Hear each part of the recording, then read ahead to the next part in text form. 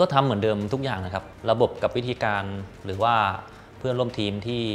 อยู่ในวัยเดียวกัน อยู่ในรุ่นเดียวกันอย่างเงี้ยครับมันสามารถสื่อสาร หรือว่าความสัมพันธ์ส่วนตัวอะไรเงี้ยครับมันเลยทำให้การเล่นในสนามมันสมูทมากขึ้น แล้วก็ระบบวิธีการของโค้ชด้วยมีเป็นส่วนเป็นส่วนหนึ่งที่ทำให้ฟอร์มผมในตอนนี้มันมันมันดี ในตอนเนี้ยคือมันเป็นฟุตบอลที่ ใช้บอลเคลื่อนแล้วเคลื่อนกันวิ่งกันทุกทุกคน